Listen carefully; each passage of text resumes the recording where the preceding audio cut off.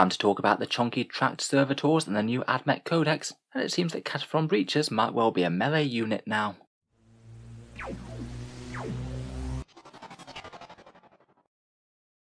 Hello and welcome back to Auspex Tactics, the strategy focused 40k channel, where today we're going over another couple of datasheets from the new AdMech Codex, focusing on the new Kataphron destroyers and breachers. We'll talk about both their datasheets, look at their damage outputs, talk about the buffs and synergies that you can give them, and talk about the squad builds that I'd be thinking about using in game. There's certainly a unit that I find really quite interesting. Arc Rifle Kataphron Breachers are one of the most competitive units in the previous codex, so I certainly found it interesting to see how they were doing now. Let's start out by talking over their datasheets then. I will go with the Kataphron Breachers first. These are the more heavily armoured and have both some ranged and combat capability, whereas the destroyers are more lightly armoured and armed with bigger guns. In any case, Kataphron breachers remain a troop's choice. They can now only be taken in squads of 3 to 6 models, you can't get 12 of them anymore. But they do remain at 35 points a model, though you have to pay 10 points extra if you want to upgrade the arc rifle to the torsion cannon. For 35 points and packing a big gun, they do actually have a pretty impressive stat line. Their movement 6 inches, and there's no penalty to their advanced rolls anymore. Their weapon skill and ballistic skill 4+, plus, strength and toughness 5, 3 attacks, leadership 7, and they've been bumped up to a hefty 2 plus save with a 6 plus invul. That's a really chunky and tanky profile for a 35 point model. Small arms are going to be near enough irrelevant against these guys with that toughness 5 and 2 plus armor. It's only really going to be anti-elite and anti-tank weapons that they're going to have to fear. Interestingly enough, they were changed from infantry to bikes, I think just to represent that those track units probably aren't going to be clambering into high buildings very easily, but they do have a special rule that allows them to move through breachable terrain as if they were infantry, so you could still potentially start them behind line of sight blocking ruins and then move in front of them to shoot. They are Cult Mechanicus units, not Skitarii, and they're OBSEC troops, but they aren't core. The lack of the core keyword is a big negative to them, unfortunately. I can kind of see why Games Workshop did it, they have enormous damage output, and to be honest, if they had access to the full amount of buffs on the AdMech Codex, they'd be insanely ridiculously scary. It is a bit of a turn off for them though, they just don't have quite as much synergy as core units do. For their ranged weapons, we have either the heavy arc rifle or the torsion cannon. The heavy arc rifle is heavy 2, 36 inch range, strength 6, AP minus 2, and damage 2, and it's particularly good against vehicles, getting plus 1 damage and always wounding them on at least a 4 plus. It's quite a good generalist profile. Those shots are going to be at least relatively efficient against whatever they're fired at. But compared with in the old codex where you could get that custom forge world with the exploding 5s and 6s, their damage output just really isn't what it used to be. I'd see the heavy arc rifle as a bit more chip damage at long range, as opposed to something that you're going to rely on to sweep the enemy off the table. At ballistic skill 4 plus, you're only likely to land one hit with each heavy arc rifle. Then we have the torsion cannon for 45 points per model, this is heavy 1, 48 inch range, strength 8, AP minus 4, and damage D3 plus 3. A very hefty heavy anti-tank weapon this one. It certainly lands with a lot more punch when it does land, though it does cost a fair bit more than the heavy arc rifles, and it's really quite painful to have such a good gun that only ever hits half the time, or less if you have modifiers. We'll talk about their damage output in just a second, but I think that they're relatively well balanced against the heavy arc rifles. However, aside from durability, the other thing that was drastically beefed up in the new codex is their melee. Those arc claws are now strength 6, AP minus 3 and damage 1 and they get plus 1 attack and the arc special rules versus vehicles. They're a little bit better for anti-horde, though to be honest I think that most people are going to be running the hydraulic claws now. Those will be getting 3 attacks at a whopping strength 10, AP minus 2 and flat damage 3. They outperform the arc claws against vehicles, I'd say are just generally the better choice. I find it really quite interesting that now breachers seem to do more damage in melee than they do at range, meaning that the nature of the unit has just changed really quite a lot. We'll do their damage output after we've looked at the destroyers, but in general breachers are far tankier, far more dangerous in melee, but not quite as strong at range due to the loss of their buffs and synergies. Next we have the Kataphron destroyers, again a lot of similarities with the breachers, they've gone down a bit in points, 40 points per model with Grav and Phosphor Blaster, plus 10 points for the Plasma Culverin, and plus 5 points for the Cognis Flamer. They have essentially the same stat line, Still hitting on 4s just like the breachers, but they're a little bit more lightly armoured, they have a 3 plus save rather than a 2 plus. Still though, that's not too bad for 40 point models, particularly ones that deal quite a lot of range damage. I would just bear in mind that with the durability as well, being bikes mean that they won't be able to benefit from light cover areas on the table, so they won't get the improvement to their save quite as easily. They'll need Shroud Psalm if they want light cover.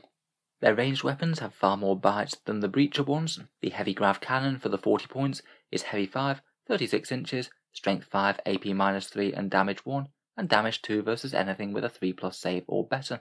That is pretty respectable on a fairly tough model like that, particularly at the long range. Although its profile is fairly generalist, it does have a couple of negatives though. It's really going to suffer against anything that's minus 1 damage, such as the whole Death Guard army, and it's going to be very underwhelming with anything that's worse than a 3 plus save, say Drukhari Raiders or Chaos Greater Demons. Still though, a bunch of strength 5 shots with good AP is hard to argue with, in particular these things will chew through Space Marines very efficiently indeed.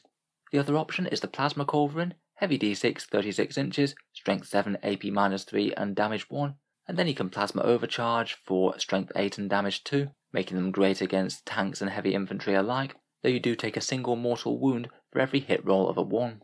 Even if it doesn't slay a model anymore, this is still actually genuinely quite scary to the Kataphrons, as now there's no way to get a simple reroll 1s to hit, say by a Tech Priest Dominus sitting nearby. Otherwise, they have a secondary ranged armament, a Phosphor Blaster for a 24 inch range, strength 5 AP minus 1, damage 1 shot with rapid fire. It's not much, but it ignores dense cover, and I guess it'll provide a little bit more anti infantry shooting. Or you can upgrade for 5 points to the Cognis Flamer, far more damage with d6 plus 2 strength 4 shots that auto hit within 12 inches. For me, I think I'd typically take the Phosphor Blaster. The Cognis Flamer just really incentivizes you to get close, and close is not really where these firepower units want to get. I think I'd just take the free small boost to ranged shooting rather than piling more points into a weapon that only ever functions if the enemy's got really close to you. I guess maybe you could upgrade one to have a Cognis Flamer for a bit of point defense, just to clear out pesky enemy units that might be getting too close. Finally, of course, their melee is nothing compared with the Breachers, they only get strength 5 attacks at AP 0, so they really don't want to be caught in combat. Overall, destroyers are still at least fairly tanky for the points, and are far more of a dedicated gun platform role, though again loss of core is not particularly handy for them. Next I thought we'd take a look at their damage outputs, and these are the amount of wounds that they'll cause per 200 points worth of models. That's a little bit under 6 arc rifle breachers, a bit over 4 torsion cannon breachers, 5 grav cannon destroyers, or 4 plasma culverin ones. For the breachers, to be honest, the damage output just isn't particularly spectacular for a 200 point unit. Their arc rifles will kill around about 5 guardsmen, around about 2 or 3 2 wound space marines, and an average of around 6 wounds to a vehicle with a 3 plus save. Of course, they'll be far worse against tough monsters, where they don't get their arc benefits against. The torsion cannons are a bit more specialised, they'll be frankly pretty rubbish against infantry, maybe killing around about 2 marines or guardsmen, but will be far better against vehicles or monsters, averaging around about 7 or 8 wounds to a toughness 7 one. Just very dedicated anti-tank there, though invuls will make this drop off significantly compared with some of the other options. If we look at the destroyers, then generally they do tend to just outshoot the breachers against general targets. The numbers here assume that they're getting a single phosphor blaster shot each at 24 inch range. The grav cannons are really quite impressive to be honest. They'll clear out a squad of 10 guardsmen, around about 7 or 8 marines, which is very good indeed, and around about 7 or 8 wounds to a toughness 7 or 8 vehicle without an invul. Of course they're far worse against minus 1 damage mechanics, or against multi-wound models with a poor armor save that they don't get their 2 damage against.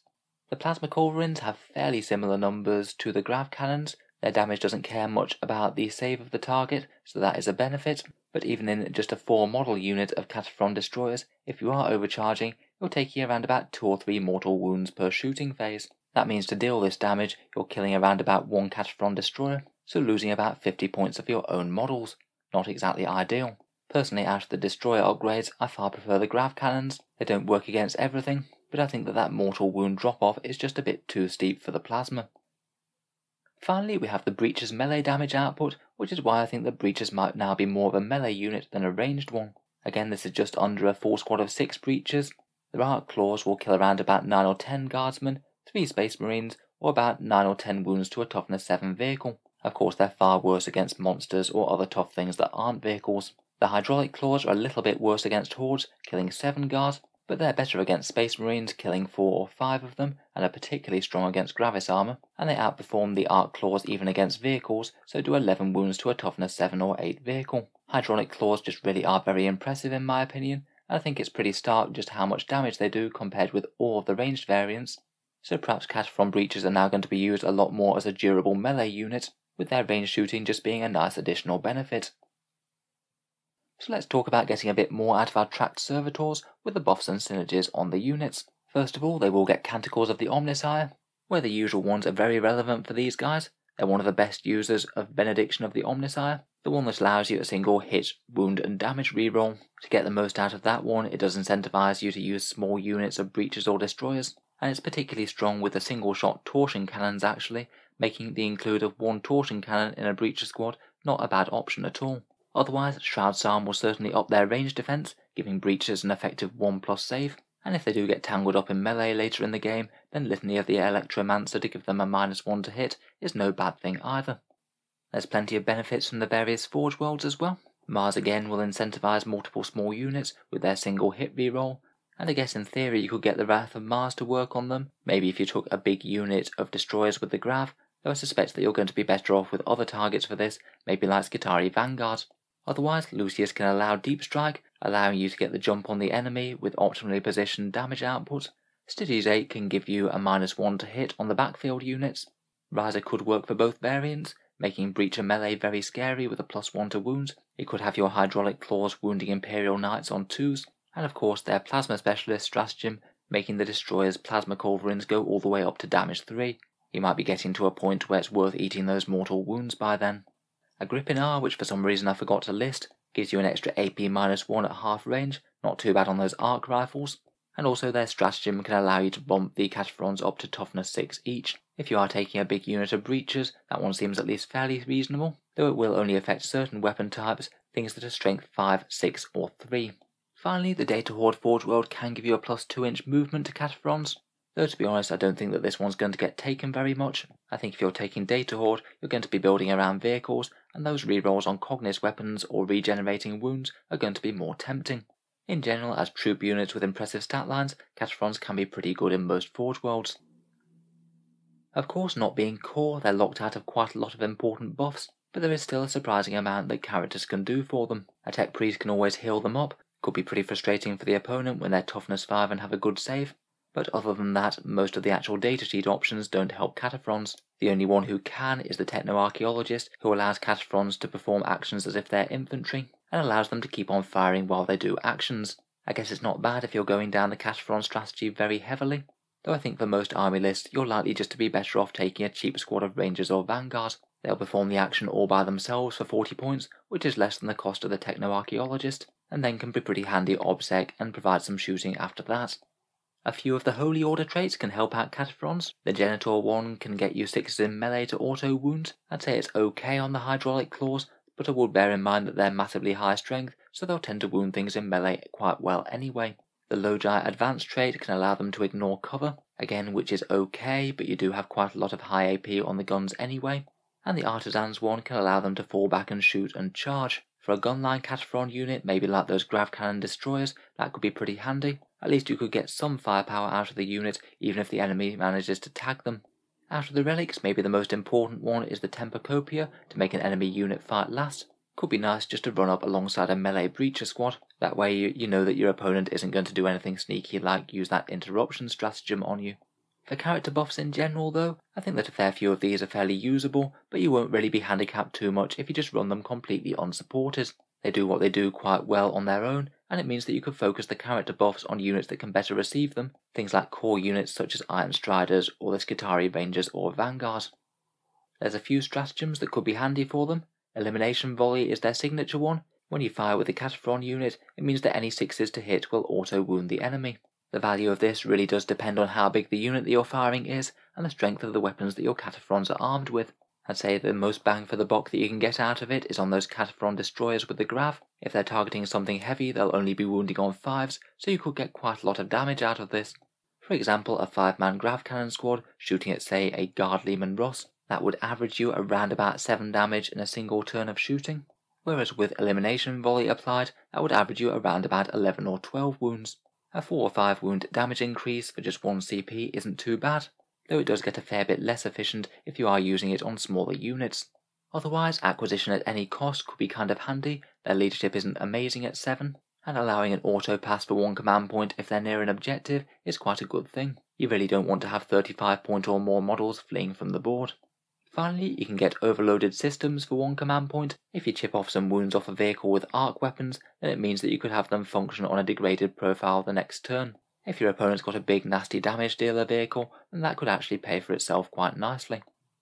Finally, for an interesting and powerful buff, he can run Kataphrons as part of a defense cohort at formation from Warzone Charadon the Book of Rust. That's the one that locks you out of any Skitarii units at all, but gives you a few powerful buffs, including all of your units being minus 1 damage if they're either within their own deployment zone or within 3 inches of an objective. When you can get that buff to work, it takes their durability from just good to absolutely outstanding, and it might genuinely be one of the strongest ways to run an entire Kataphron army at the moment.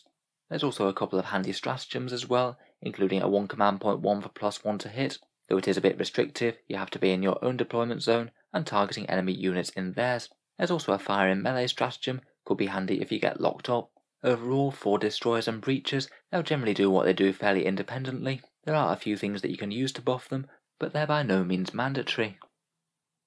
Here are a few ideas for some squad builds, depending on the battlefield role that you want them for. Perhaps for backfield objective holders, you could think about a unit of 3 Kataphron breachers with arc rifles. 105 points for 9 toughness 5 2 plus armor save wounds is serious toughness for the points cost, and of course their obsec. You could maybe think about upgrading one to a torsion cannon just to use those benediction of the Omnissiah rolls on the turn that you get that canticle. If you want them to slant a bit more into ranged firepower though, you could think about using 3 destroyers with the grav cannons and phosphor blasters. They're still pretty tough and obsec, but we'll be chipping away with far more firepower with 15 grav shots and a few scattered phosphor blaster ones. As I said, I think that the plasma culverins aren't quite as strong as they used to be, but if you did want to make use of them, then maybe Ryza would be the best option. Six destroyers with plasma culverins would cost you 300 points, Pop the 2 command point Plasma Specialist stratagem and you're up to 3 damage plasma weapons. It could potentially do some hefty damage to a vehicle or two in a turn. It averages around about 18 wounds to a toughness 7 vehicle, or about 6 dead Space Marines in Gravis armor. You'll probably lose at least one Kataphron due to using the overcharge, but that's still a fairly serious amount of firepower at quite a good range. I'm not convinced it's quite worth the investment, but certainly sounds good fun. Finally, you could think about using a breacher unit to move up into the midfield, maybe 5 breachers with arc rifles and hydraulic claws, just for a bit more durability against blast weapons and a bit more flexibility in terms of squad coherency. Maybe you could run them alongside a Genitor or Artisan Tech Priest with the Tempercopia, either getting some auto wounds on sixes in combat, or fall back and shoot and charge, make the enemy units fight last, and be able to heal one of the things if you need to. That'll give you 15 very tough wounds at toughness 5 with a 2 plus armor, and genuinely quite scary melee, they're quite likely to go through most standard vehicles in a single round of combat, and will be particularly nasty against anything with 3 wounds. For really durable AdMech melee threats, I think they might be one of the best options, particularly in Ryza for boosted charges and plus 1 to wound against heavies. So putting it all together, does it make Kataphron Servitors strong right now? For raw range damage dealing, I feel that breachers aren't really what you're going to want to go for, so we'll be mainly looking at destroyers. While they do chip out a fair bit of damage, I would say that they're unlikely to compete all that well with core options, say Iron Striders or Skitarii Rangers or Vanguard, buffed up to the max with characters. Generally though, I would say that there's still a niche for them. You're only going to be able to character support so many units in your army, and the Kataphrons are fairly tough and have obsec, so really aren't such a bad option for parking on objective and forgetting about, while they just deal out some long range grav cannon fire. I would bear in mind though that they are fairly susceptible to hit roll modifiers, only hitting on 4s means that minus 1 to hit will drastically reduce their damage output, far worse than things like Rangers, Vanguard, or Ballistarii. For the Breachers, I'd say the main thing that's going for them is both durability and melee damage. Breachers are a really tough unit now, not just within the AdMech Codex, but just compared with other things in 40k in general. They seem very solid to hold an objective, provide some nasty countercharge threat, at least chip away with some firepower with arc rifles each turn. I have a feeling that we might start to see some midfield blobs move up, and provide a similar sort of melee threat role to things like Bullgryn Blade Guard veterans or other tanky melee units from other codexes. Overall, I'd say that Kataphrons are still usable, but I'm not sure we're going to see entire armies of breachers like we would in 8th. They now have stiff competition in the troops role. I'd say that Rangers and Vanguard are likely to be more competitive. They're great for holding objectives, and you can get loads of silly numbers out of them by stacking buffs. I feel like just for raw firepower, Iron Strider Ballistarii might be the way forward. They seem to put out some of the heaviest firepower in the decks for the points, though I'm not saying that there's not room for Kataphron destroyers as well. So anyway, let me know what you think of the Kataphrons down in the comments below. Are they looking good? Are you going to be using some in the new AdMech army list? And what sort of builds catch your eye the most? In any case, thanks for listening. If you'd like to see more content like this, feel free to subscribe to Auspex Tactics, where I'll certainly keep the regular 40k videos coming, including loads more for the AdMech. I'll be trying to do a fair few more unit reviews like this, and a few more general discussions of their codex. Finally, if you have been enjoying the videos and find them useful, I would just like to mention one way that you can help support the channel, which is my Element Games affiliate link down in the video description. If you were thinking about picking up some Kataphron destroyers or other AdMech stuff, Element Games is a discount retailer based in the UK with 10 to 20% off Games Workshop's miniatures. If you were going to buy something, you could click through the link down in the video description, order through them, and a small amount of the money goes to help support Auspex Tactics without costing you any more whatsoever. Can just be a way to help support the channel if you were thinking about buying something anyway. For people over in the USA and Canada, I do also have an Amazon affiliate link that works in basically the exact same way. If you were going to buy something off Amazon, whatever it was, click the link and a small amount goes to help support Auspex Tactics without costing you any more. A big thank you to you guys who have been using those links, it is very nice of you. In any case, an enormous thank you for listening, and I'll hope to see you guys next time.